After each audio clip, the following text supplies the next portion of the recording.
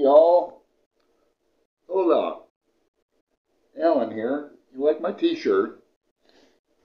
Hey, coming at you today from a different angle, just looking at my, from a different angle, different POV, different vibe. Uh, it's because I'm using a tablet to film this, and uh, I I have my editing software again, KineMaster. I'm going to see if I can use it here. This is uh, my top 10 most reread novels video. It's kind of like a tag video because I'm going to take some people off the bat. I'd like to uh, hear what Brian at Bookish has to say. I want to hear what my friend Fee at Jeremy Fee has to say about this. Uh, I'd like to hear what my friend Roz at Scallydandling about the books has this.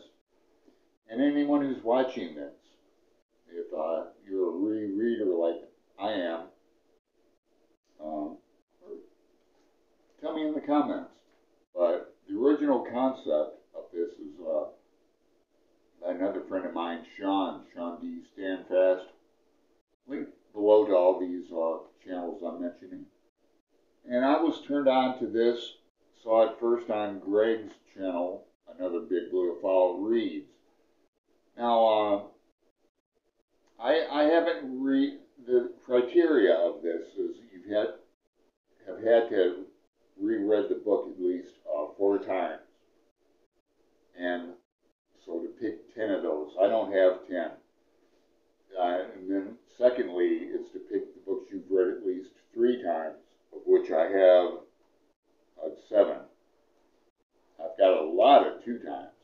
And a lot of these books I have and I can bring out. Now, if anybody, uh, those familiar with my channel know I'm a Joycean. So uh, I've, read, I've got two different editions of Ulysses currently. I've read those many times. They're all annotated up, as well as my Finnegans Wake. Yep, I've, I've read that at least four or five, six times.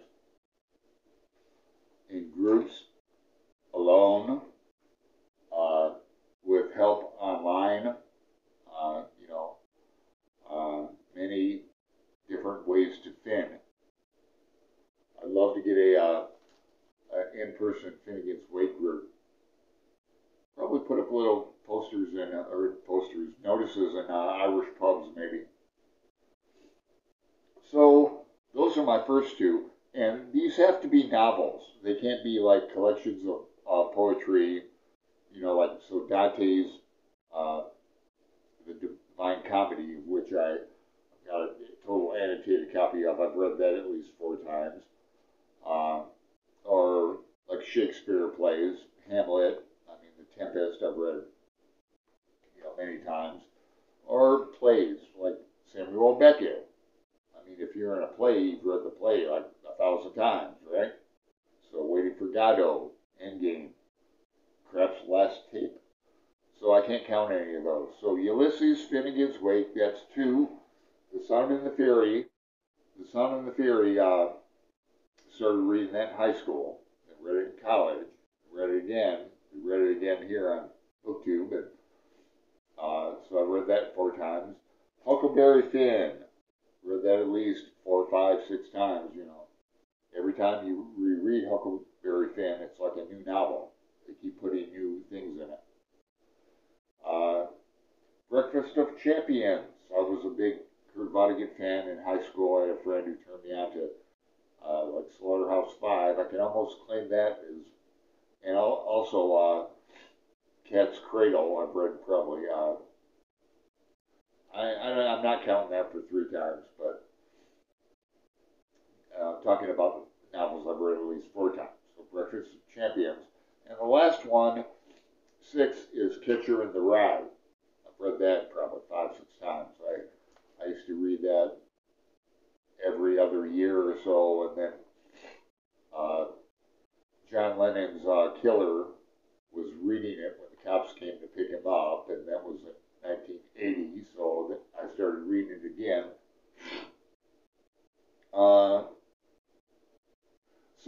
let's move on to the books I've read at least three times. The books I've read would be three times. That would be Slaughterhouse Five, Naked Lunch.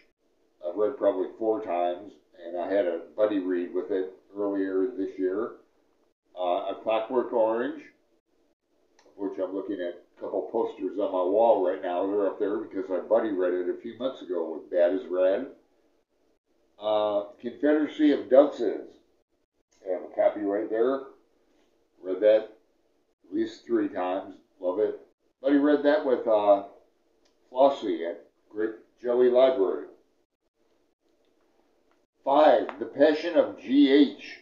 Got a whole section up here of uh, Clarice Lispector books. And I buddy read that. Uh, I read it two times alone with uh, Roz and uh, Una at the Codex Cantina. And finally, six, Against the Day. I've read three times and probably going to read four times with uh, friend Greg. Wants to uh, buddy read it. So that's about it. I was going to hold up some of the books. Look at this old copy of Huck, Adventures of Huckleberry Finn I have. What is it? Uh, Norton? Yeah, Norton Critical Edition. But, uh, yeah, man. Huckleberry Finn. And essays in the back. Love it. All right. Like, subscribe, make a comment. I'll get back with you.